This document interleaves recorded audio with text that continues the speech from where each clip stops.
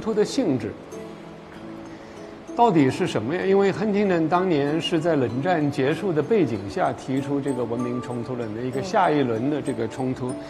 可是我们多少能够看到现在的冲突的结构。我们比方说，呃，中国常常被看成是一个社会主义国家，社会主义国家更强调意识形态。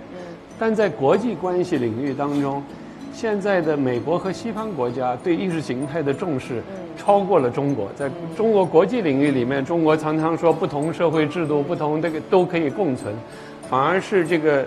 在在另外一个世界里面讨论自由民主的这个讨论当中，反而变成国际关系的一个新的凝结点。这个是到底是意识形态冲突还是文明冲突？这也可以认真的思考。也就这一套意识形态冲突背后，到底有没有其他的文明要素？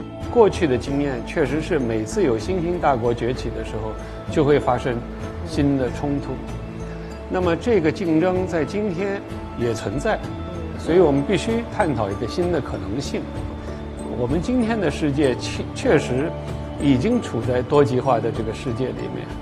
如果还是希望重新转化为单极或者是两极世界的话，那对人类来说都是灾难性。所以需要的是，确实是需要一个新的呃全球的变革。我觉得出现了一些新因素。